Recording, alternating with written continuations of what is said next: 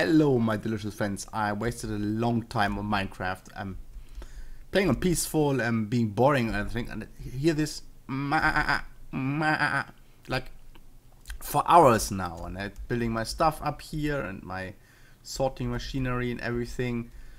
And yeah, I have this enabled because I'm actually considering going to not peaceful. And so I was uh, placing some wonderful torches everywhere. And then I wanted to see if here's enough light and this happened. What? Get out of my bedroom, you scumlord! Jesus.